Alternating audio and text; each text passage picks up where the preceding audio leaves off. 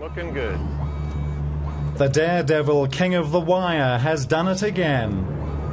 Nik Wallenda has made two record hair raising walks between skyscrapers in Chicago, one of them blindfolded. Halfway there.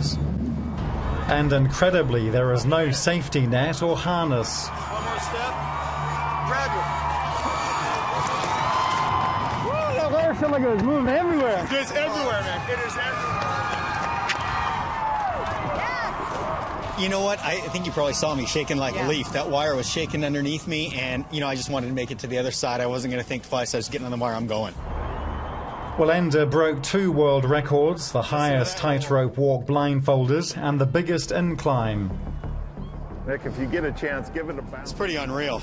The 35 year old was the first person to cross the Grand Canyon on a high wire in 2013. For 2013. all of Sarasota supporting me, Wallenda hails from a travelling circus family, and his great grandfather died during a tightrope walk in 1978.